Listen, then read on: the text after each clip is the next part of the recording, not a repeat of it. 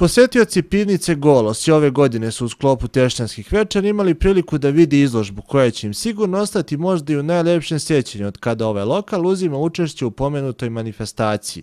Simbolično nosi naziv Pivski gurmanluci, a ljubiteljima ovog alkoholnog pića na raspolaganju su bila jela koja će već u sljedećeg mjeseca imati priliku da probaju svakodnevno. Ovoga puta smo se okrenuli iz prostog razloga što imamo razlog da se okrenemo prema tome, zato što 27. augusta nam je u planu da otvorimo kuhinju koja će se zvati Konoba Golos u sklopu sa objektom pivnice Golos, pa smo htjeli našim gostima da čisto izlazimo od prilike šta će biti u toj kuhinji. Ja mogu odmah da kažem da će tu biti sigurno sedam vrsta kobasica, bit će e, butkice, kuvane kolenice, sve kao u pivnicu što smo se mi trudili, to nam je u neku ruku bio i cilj od samog početka da možemo u Valjevu.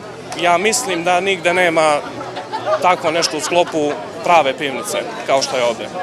Mijatović se osvrnuo i na specialitete koje su obeležili startno veče, dodavši da se na panojima koji su izloženi mogu vidjeti pojedini recept. Vi sad možete vidjeti prvenstveno na ovoj izložbi možete vidjeti bavarska testa, možete vidjeti, možete vidjeti, možete vidjeti ovaj meze što mi delimo preko radnog dana, kao što je čips, kikiriki, uvek nešto imamo da našim gostima čisto uz naše piće ponudimo i nešto drugo. E, na ovim panovima je postavljeno čisto izložba šta će otprilike biti na šta će otprilike biti u kuhinji. Priča o pivu, poštanske marke i novčanice, neke su tema kojima su se u ovoj pivnici bavili prethodnih godina, a u sklopu manifestacije u sredu 7. augusta u organizaciji Valjevskog aerokluba na istom mjestu bit će izloženi avio modeli i makete.